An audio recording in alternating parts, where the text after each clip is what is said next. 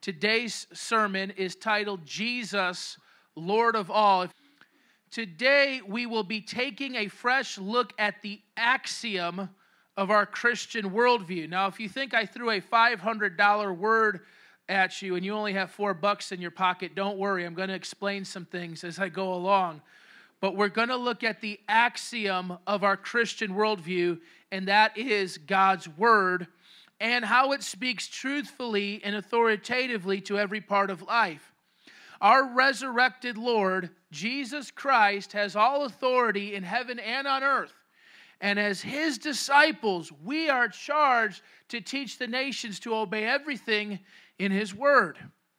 Thus, in this message, we will explore what it means to make disciples of all nations and what it looks like to obey everything Jesus commanded in every sphere of society. And so, those are two questions I want you to have on your mind throughout this message. You want to find out how am I going to answer this? You may even want to write it down. Again, the question is what does it mean to make disciples of all nations? And what does it look like to obey everything Jesus commanded in every sphere of society? Those are the two questions, and, and you got to answer that for yourself, but for you and God. But we're going to walk through this together. If we could scroll down to the series definitions, I want to recap some of the terminology that we've been using and will be using today. The first thing I want you to see is that we all have a worldview. A worldview is how you see the world and give an explanation for everything you believe. Now, everyone point at your nose. Okay? Everyone in this room has a nose, and everyone in this room has a worldview. You're like, I have a worldview? Yes, you do. You see the world, don't you? Depends on how you see the world. Now, we as Christians, we have a developed, fleshed out worldview. There's other religions that have a worldview. There's there's even atheists, secular humanists. They have a worldview that, that, that you know that's kind of codified in writing. But the vast majority of folks don't even realize they have a worldview. They're just kind of taking things as they come, and they don't realize that there are filters through which they look at the world. So it affects how they analyze things, it affects how they interpret the things that they see in the world. For us, we have a biblical worldview we believe in seeing the world through the lens of God and His Word. So we have the 66 books of the Bible, Genesis to Revelation. We believe in a God who has decisively revealed Himself to mankind. Amen? And his word, his very word, is written in scripture. It has been inspired of God and it has been preserved by God throughout the ages so that you and I can have a copy of it. You could even have it in an app on your phone.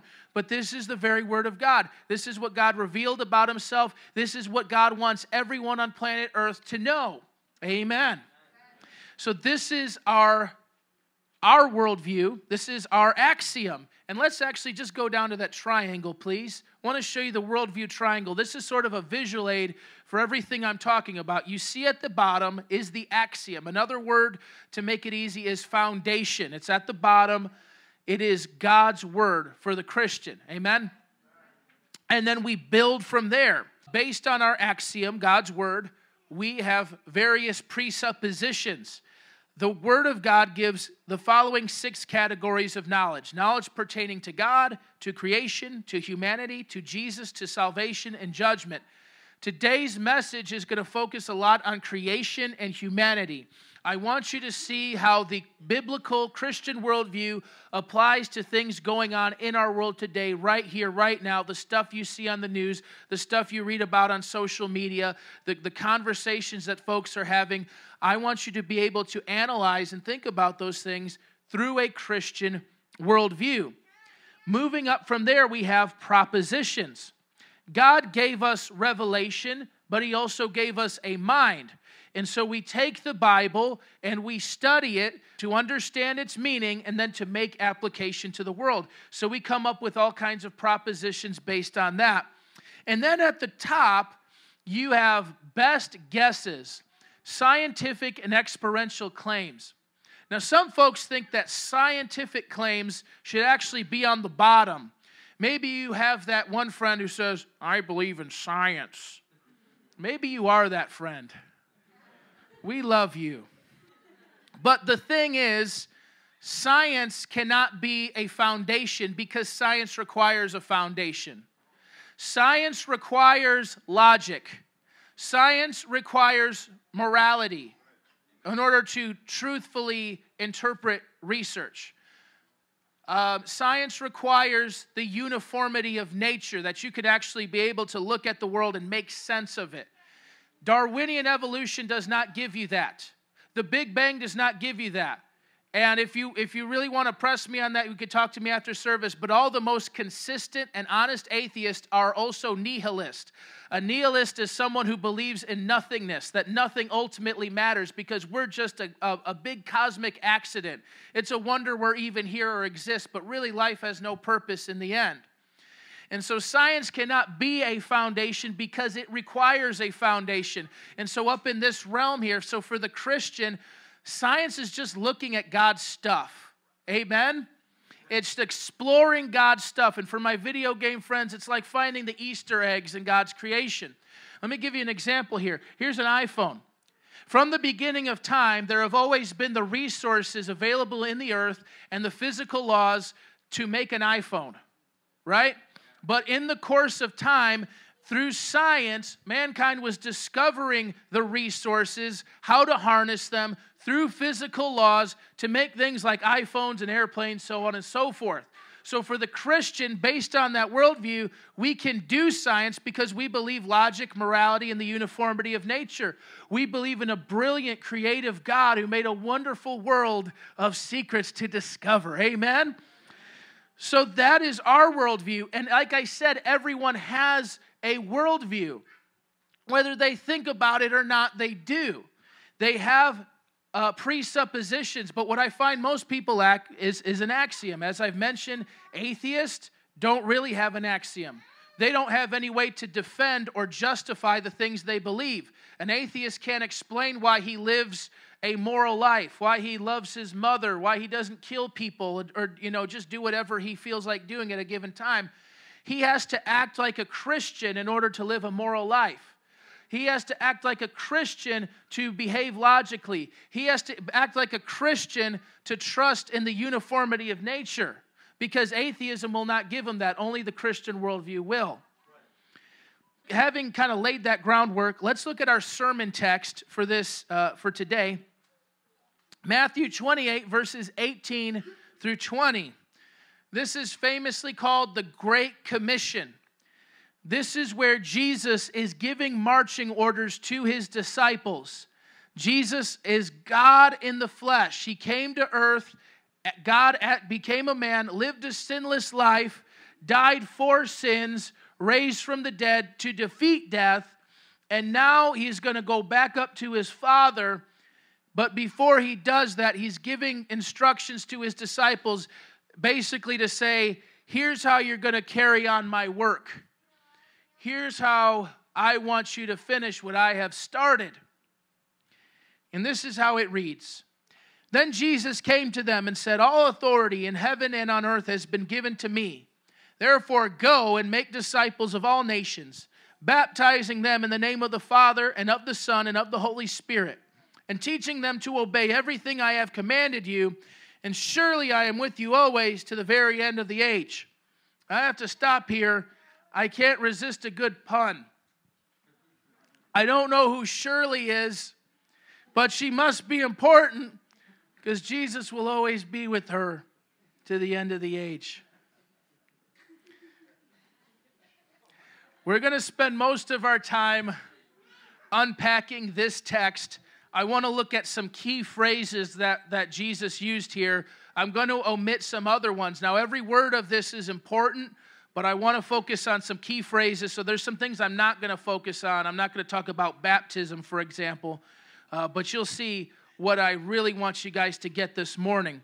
So, the first phrase that Jesus uses is All authority has been given to me.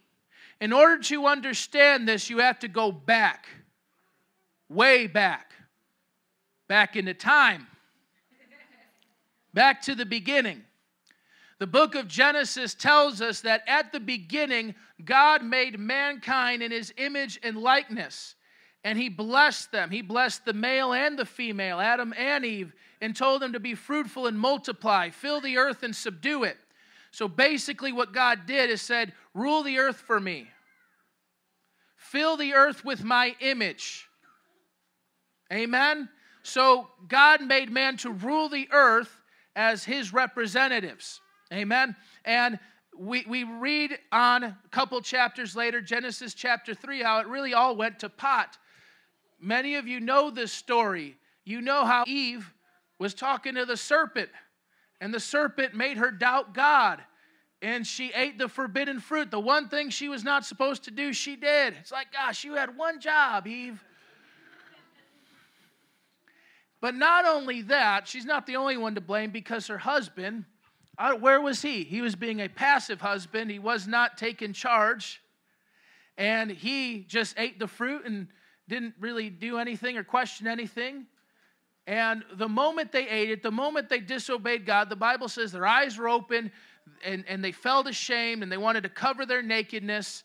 And what follows from there is the rest of human history a tale of a lot of tragedy and suffering, a lot of rising and falling of nations. But you're seeing that mankind at that moment lost touch with God and lost authority to rule the earth. Now, you do still see people in authority, but it's often an abused authority. It's often an incompetent authority. You ever, you ever have a job like, how did this guy get to be my manager? You know what I'm saying? It's like, yeah, we have authority, but it's messed up. Yeah, we have authority, but we give it to the devil. And so God's solution was that in the fullness of time, He would send His Son. God the Son became a man. Jesus Christ is the God man. He is fully God, fully man. All right, we learned that a few weeks ago. And he came as a man to live a sinless life, to die for sins, to raise from the dead, and conquer death. As a result, he has regained what was lost in the Garden of Eden. And he now has authority to fill the earth with disciples and subdue the nations for God the Father. He is seated at the highest place, given the name above all names, far above all rule and power, dominion and authority. Amen. He rules over the universe at the right hand of his Father, and it says that he is ready to make his enemies like a footstool under his feet. He has authority to rule the nations. He has all authority in heaven and on earth. Jesus has all authority in heaven. It's hard for us to picture heaven, though the Bible gives us glimpses of an amazing scene that's truly mind blowing, that really challenges your imagination. You guys, if you read Revelation, have you read, you know, where, where it talks about the throne room of God? It's an amazing scene. But what I want you to know about heaven is that in heaven there is perfect peace, order, and joy. And you know why that is? Because in heaven, everyone obeys Jesus. Everyone loves Jesus. Everyone worships Jesus. There's no sin or folly or rebellion to get in the way of that. And so you have perfect order, joy, and peace because Jesus' lordship is fully established in heaven. Now, that's easy for us to believe because we don't live in heaven. On one hand, you could say, Yeah, but I'm seated in heavenly places. True that. But where's your address? somewhere in Chicago, some 606 area code, right? You live here in Chicago. You live here on planet Earth. And Christians will say, yeah, he has authority in heaven, but it comes to on earth, uh, they're, a little, they're a little hesitant to make applications there. Does Jesus have authority in Chicago? Amen. Does he have authority in City Hall? Does he have authority in Washington, D.C.? Does he have authority in Hollywood? Does he have authority in colleges and universities? Yes, he does. He owns every square inch of planet Earth, it's all his. Now, you might ask if Jesus really rules everything, then why is the world still messed up? It's because the nations are in rebellion. They don't want his lordship, they don't want to listen to him. Psalm 2 is a picture of what the world has always been like and will always be like until Christ returns. It says, Why do the nations conspire and the peoples plot in vain. The kings of the earth rise up, and the rulers band together against the Lord and against his anointed, saying, Let us break off their chains and throw off their shackles. You know what that sounds like to me? That sounds like the United States of America. That sounds like a nation that murders 60 million of its unborn children in the womb, and it's government funded, and every celebrity and every of one of society's elites promotes and celebrates this wicked act of child sacrifice. You have a nation that's gnashing its teeth at God. We don't want your ways, God. We don't want your commands, God. We don't want anything to do with you. You know, in China, they're doubling down on the suppression of religious freedom. China is a communist country. They're ruled by the People's Republic of China, the Communist Party. And what they're actually trying to force people to, to do is give thanks and praise to the Communist Party of China before every meal. So, just like a Christian would thank God for their food, now a communist has to thank the government for their food as if it was the source of all things. You see nations shaking their fist at God, using the authority God given them to actually deny God. But it goes on there in verse 4 The one enthroned in heaven laughs, the Lord scoffs at them. He rebukes them in his anger and terrifies them in his wrath, saying, I have installed my king on Zion, my holy mountain. I will proclaim the Lord's decree. He said to me, You are my son. Today I have become your father. Ask me, and I will make the nations your inheritance, the ends of the earth your possession. You will break them with a rod of iron, you will dash them to pieces like pottery. Therefore, you kings, be wise. Be warned, you rulers of the earth. Serve the Lord with fear and celebrate his rule with trembling. Kiss his son, or he will be angry and your way will lead to your destruction, for his wrath can flare up in a moment. Blessed are all who take refuge in him. The nations, the people of this world are allowed to have their way, but it's not going to last. God is patient, but he's not slow. God is kind, but he's not weak. And he is giving the people of this earth the opportunity to repent and surrender to his lordship. In Matthew 24 14, Jesus says that the gospel of the kingdom will be preached to all nations as a testimony. You know what the gospel of the kingdom is? King Jesus conquered death. He's coming to take over. Here are your terms of surrender. God is using us, you and me, to get them ready for his return. Pastor Joe preached from Revelation last week on God's divine judgment. It's literally a bloodbath, folks. So you have the opportunity to repent now. China has the opportunity to repent. United States has the opportunity to repent. Every wicked sinner that rejects Jesus' authority and places someone else's Lord has the opportunity to repent now, but it won't last forever. But when he does come, he will destroy the wicked with finality. And heaven will come to earth. Everyone will obey Jesus. Everyone will love Jesus. And there will be order, peace, and joy when the wicked are destroyed. So, what do we do in light of this truth? The fact that Jesus has the title and deed to the entire universe. Therefore, go. Everyone say, go. Until his return, Jesus is extending his rule on earth by the preaching and teaching of his disciples.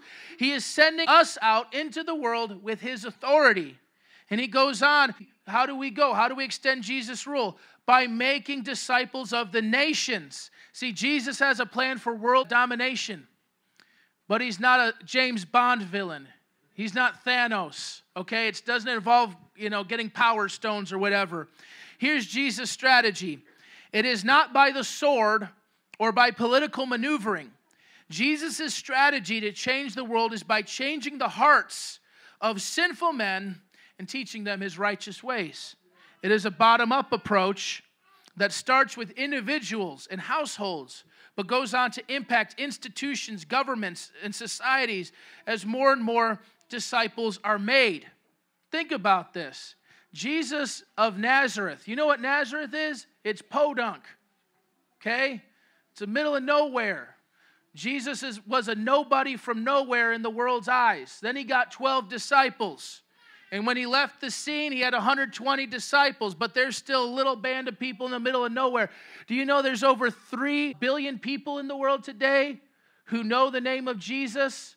Over half the world has been essentially Christianized and influenced by Jesus. Do you know that in Christian cultures, it is Christendom that, that allowed for the scientific revolution, for the establishment of charities, of hospitals, of university, the elevation of women, women's suffrage, the abolition of slavery. Slavery had been practiced in every culture throughout human history. Even to this day, there's still slavery, but it is only in those Christianized nations where it was abolished. Get woke, folks. Jesus has been changing the world for the better. Don't believe the hype. So go make disciples of all nations. Imagine America, 300 million people.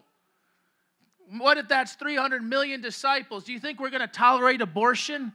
Do you think we're going to tolerate some of the filth that we parade and exalt in our culture? No, we're not. And we're going to be better for it. It's going to be, again, order, peace, joy, the kingdom of God coming to earth.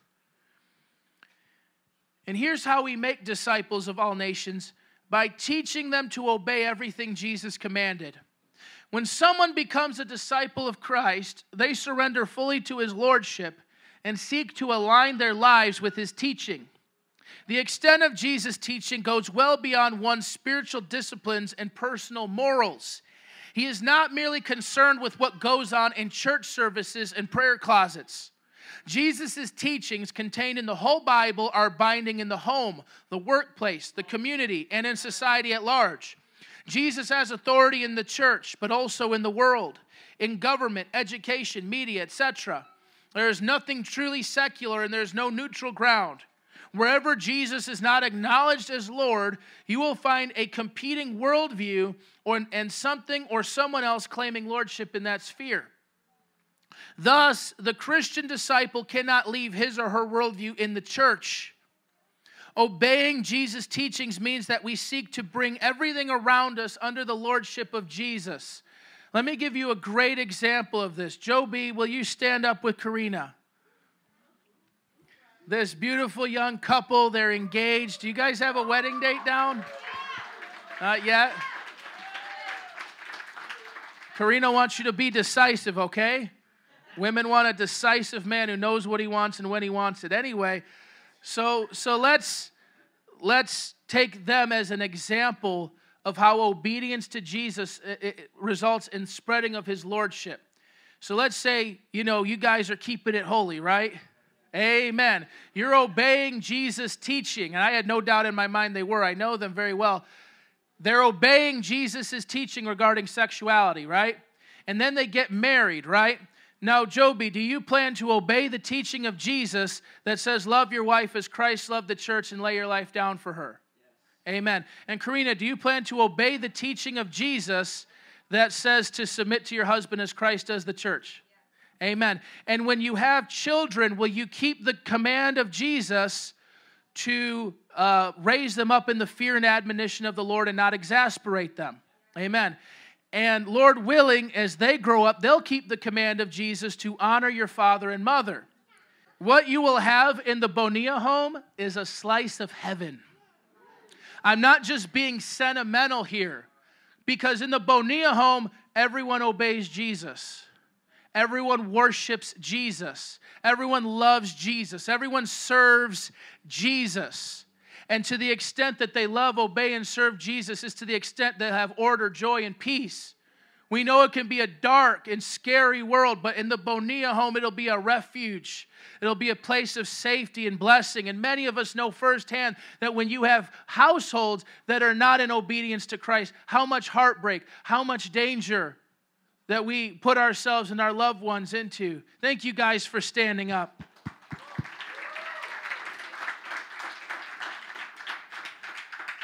Now, we believe that the Christian home should be under the lordship of Christ.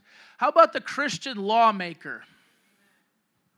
When they go to Capitol Hill, should they keep their worldview at home? the atheist lawmaker, they don't keep their worldview at home, do they? No, they, they allow their worldview to di- dictate what kind of laws they want to promote, what kind of laws they vote for and pass, right? Does Jesus have authority in Capitol Hill? Amen. Should the lawmaker, should they be obeying Jesus' teaching at Capitol Hill? Amen. So I think we need to have that in mind because many Christians are passive. They want to keep their worldview in home, in their heart, and we could talk about it in services and gatherings like this. But when it gets out there, uh, no, that's none of my business. I'm not trying to impose my beliefs on others. You hear many uh, politicians who are essentially pro-choice. They are for abortion. They vote. They vote for abortion. They support abortion every chance they get. And but many of them will talk out of two sides of their mouth and say, but I'm personally pro life. What a crock. Right? If you really believed in pro life, you would do anything you could, anything in your power, especially as a lawmaker, to stop the murder of babies. You would do it.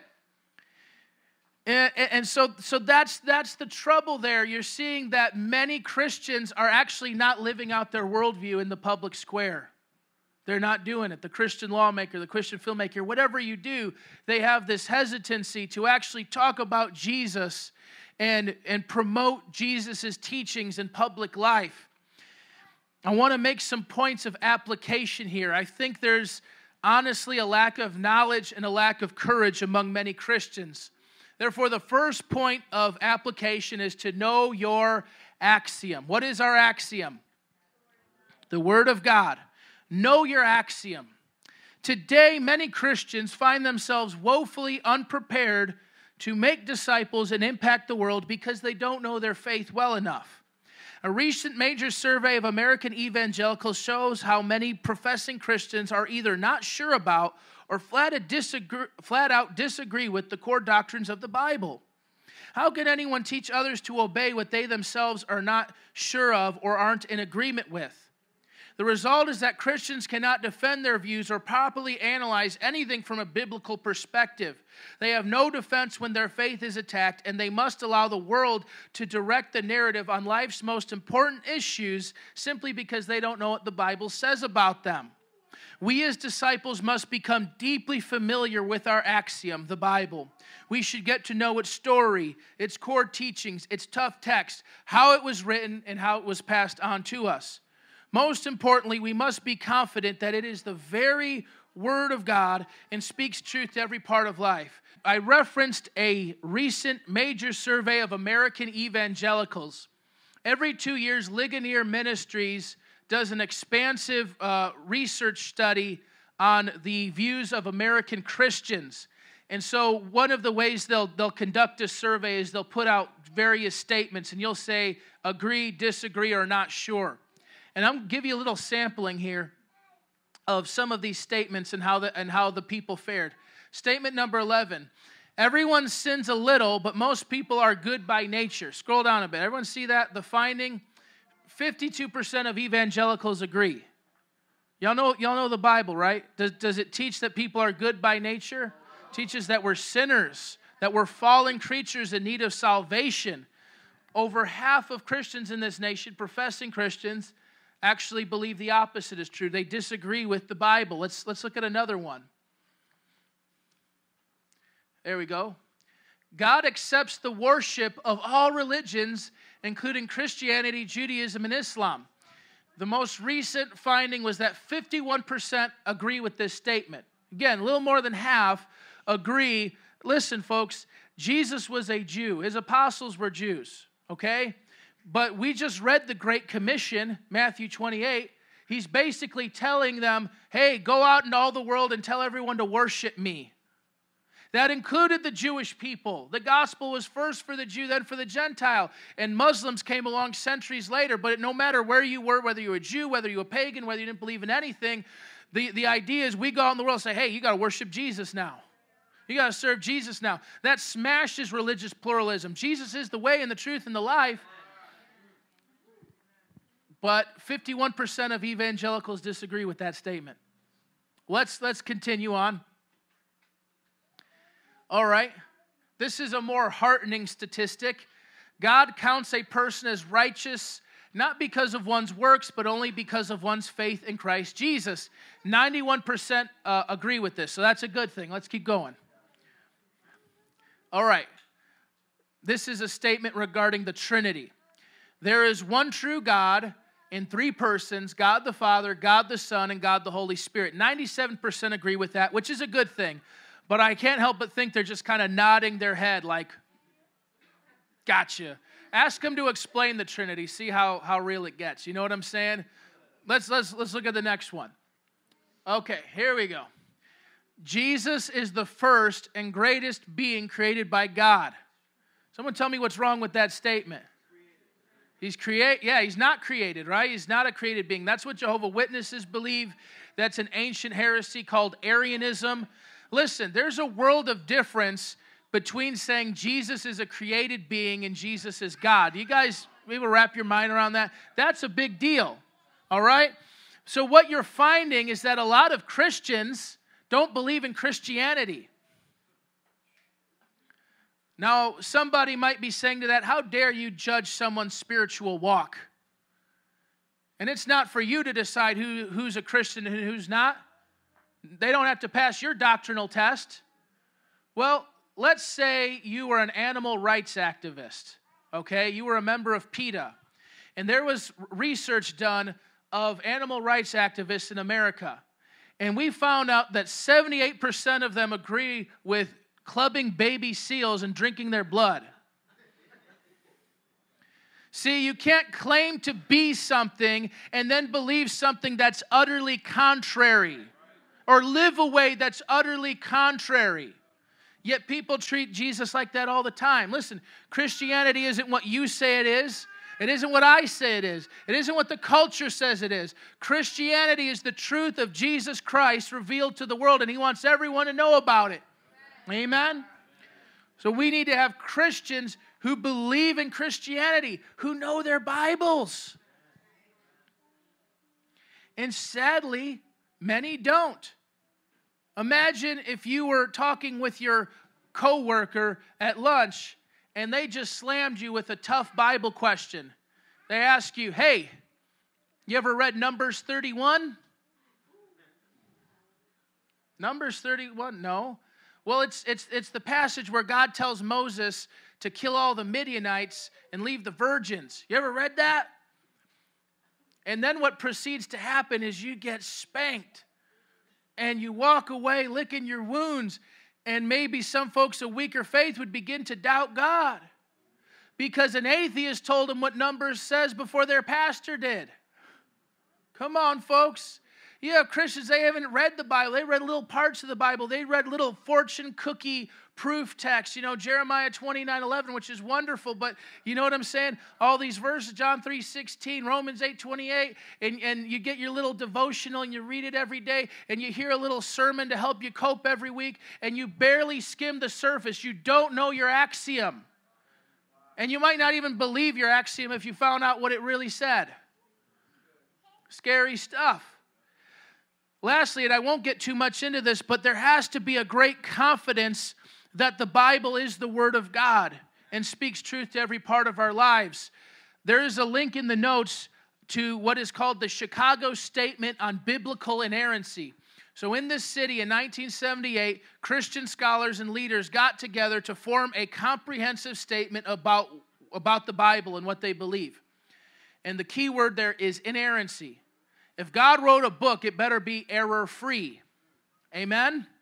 But you have many Christians and many cemeteries, seminaries, seminaries that are at home with the idea that the Bible could be full of errors, that many parts are just fables that are not historically accurate. There's folks at home with that. There's folks who are pastors who are okay with with even the miracles of the Bible saying it may or may not have happened. You know, what's important is that we just have hope or something, you know, and they try to minimize it because they really don't want the offense of everything the Bible teaches. Folks, we need to hold that the Bible is the Word of God. Because if God didn't speak, what are we doing here? We just we just have another opinion in a world full of worthless opinions.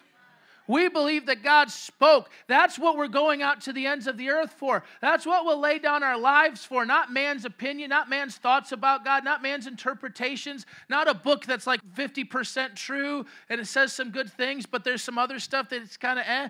No, this is the Word of God. It's authoritative, it's inerrant, it's inspired, it's trustworthy. Everything it says is true. And we need to bank our lives on it. The next thing, next point of application is this live in holiness and in excellence. Did you know that holiness and excellence go hand in hand? Every disciple should seek to live pure and holy lives, not only for the sake of their relationship with God, but to make the teaching about God our Savior attractive to outsiders. And that's a quote from Titus chapter 2. God's word not only teaches us good morals, but also wisdom. Y'all ever read the book of Proverbs? There's a lot of wisdom, practical wisdom on how to be be better. You know, uh, it's not a self-help book, but man, it'll help yourself a lot. Amen. If you read it. A proverb a day keeps the stupid away. You know, there's 31 chapters in Proverbs. Most months of the year have 31 days. You read a chapter a day. See, see how it how it does you, you know? But it, it's not only about what you don't do. Well, I'm a Christian now, so I don't smoke and cuss. No, it's a Christ. I'm a Christian now, and so now I, I'm living life a whole new way, and it's the most excellent way. So it gives us wisdom how to be people smart and how to excel in all our endeavors. One of my favorite examples of this was Daniel. Back at it with the vans. Some of you remember that. So you have Dan. If you don't know, uh, ask your kids. Um, so you have Daniel. He was a godly Jewish man, young man living in Babylon, which is the epitome of a corrupt, cruel, pagan culture. And he's working in the palace of King Nebuchadnezzar. And you see that nowhere does Daniel ever compromise his beliefs to get ahead. He doesn't engage in their dark arts, their occultism. He doesn't worship their false gods. He doesn't engage in their immorality. He didn't even eat the same food as them. He's like, Is that kosher? No? Okay. He don't even eat the same food. Stands out. In Daniel 6, you guys know the story Daniel in the lion's den. You know why he was in the lion's den? The king said, For 30 days, everyone has to pray to me. You can't pray to anyone else but me. You think Daniel prayed to that, to that joker? No, he didn't. Kept praying to his God as he'd always done. Didn't stop. That's why they threw him there. Nevertheless, even though he stood out like a sore thumb, he stood out in all the best ways. He had a reputation for having every matter of wisdom and understanding 10 times that of all his coworkers. Holiness and excellence go hand in hand.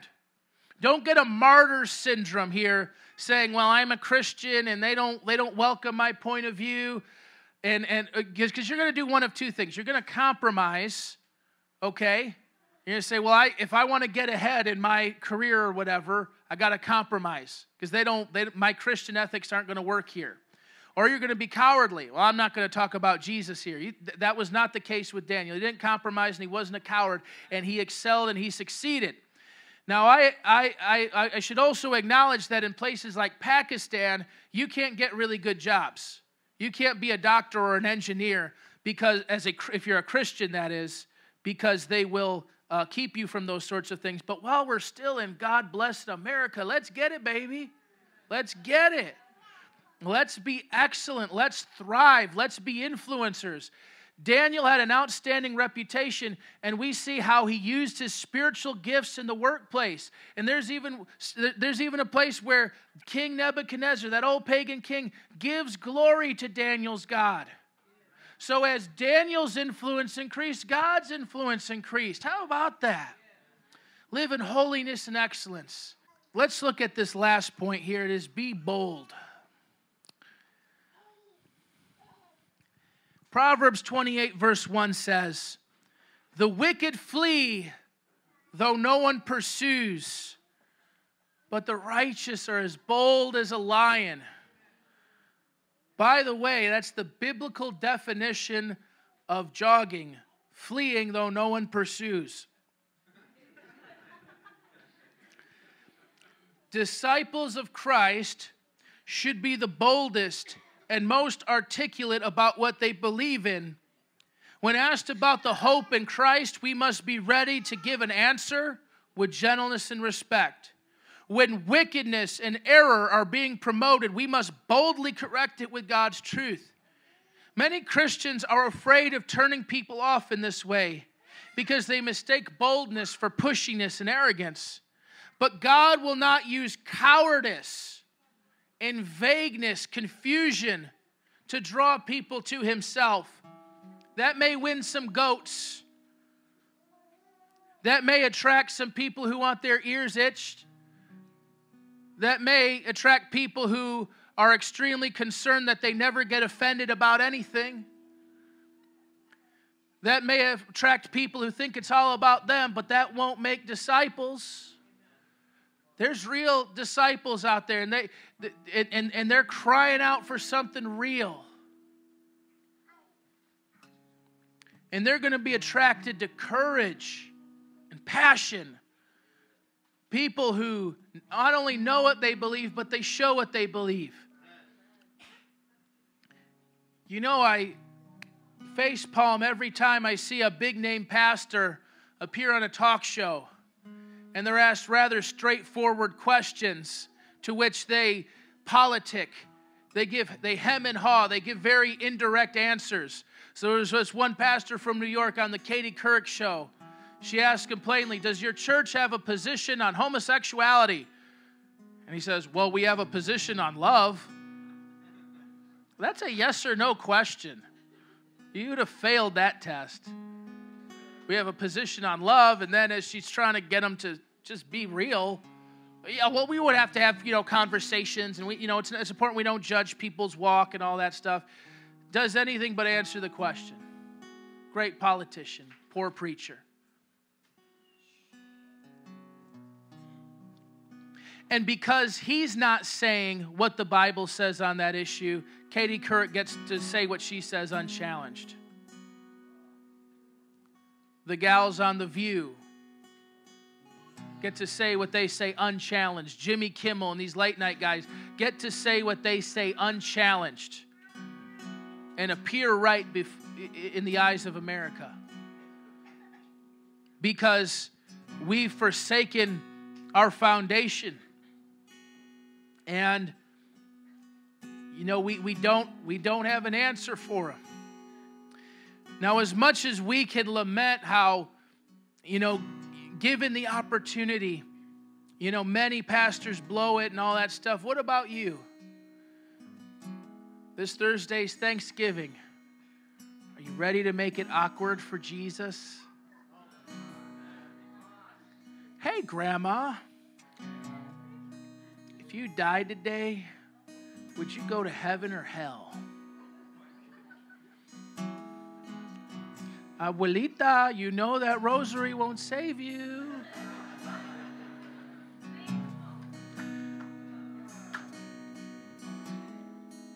We're not going to win folks that way. We, you know, we can offend people also, but we can also win people. And, and we need to be bold. We need to be able to speak up. Let us all stand. I just want to close out with this statement here.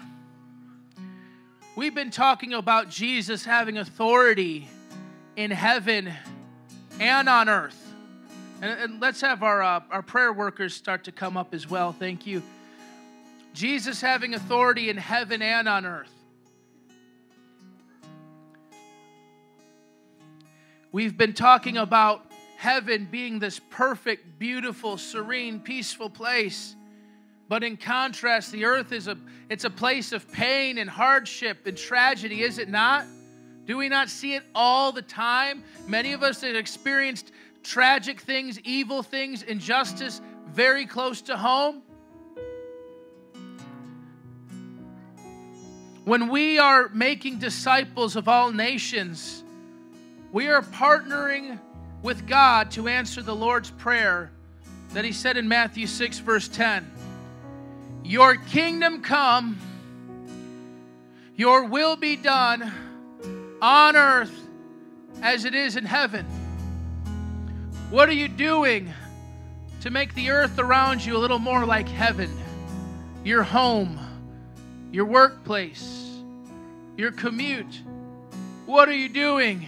Well, let's bless the Lord.